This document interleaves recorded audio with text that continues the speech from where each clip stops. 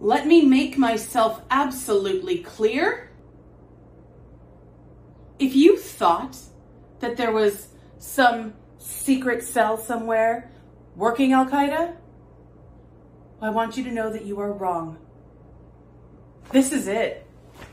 There is no working group coming to our rescue. There is nobody else hidden away on some other floor. It's just us. And we are failing.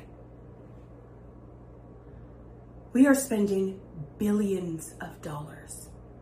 And people are dying. And we are no closer to defeating our enemy. They attacked us on land in 98, by sea in 2000, and in the air in 2001.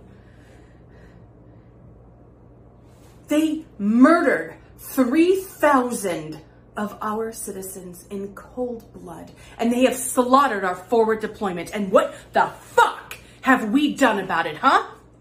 What have we done? We have 20 leadership names, and we've only eliminated four of them.